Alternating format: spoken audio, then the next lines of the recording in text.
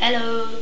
Uh, yeah, it's Kazi haven't, we haven't posted a tutorial in a while, but looking on the running tutorial that we have, um, we had a comment which uh, basically someone wanted to know how to get like one of their own pictures onto it. It's very simple, but to upload it as a stick kind of thing. So yeah, so I've got my picture here from when I used to go on Club Penguin.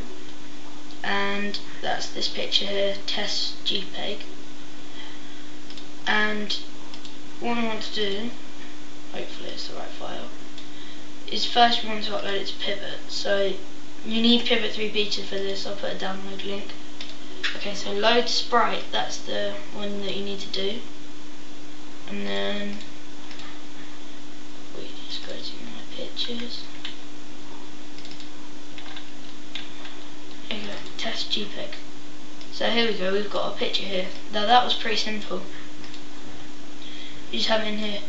But if you don't like going on the load sprite option every time, um, you can load it as a stick because you can upload multiple sticks at a time. And so you can upload it with other stuff. Um, what you have to do is if you select the thing that you're doing and then click on edit. You'll have it on here. And all you have to do is save it again. So I just save on the pivot.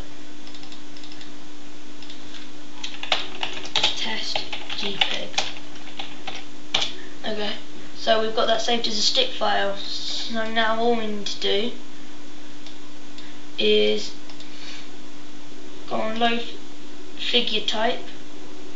Oh, sorry, delete this, get rid of it, load figure type and test JPEG. So you can load it without the multiple things. Hope that answered your question, um, Eileen Nintendo. nice name. Uh, yeah, so, hope that helped. And it's just a short tutorial. Hopefully we'll have some more ones later on. I'm having a pretty slow time at the moment. But yeah, thanks.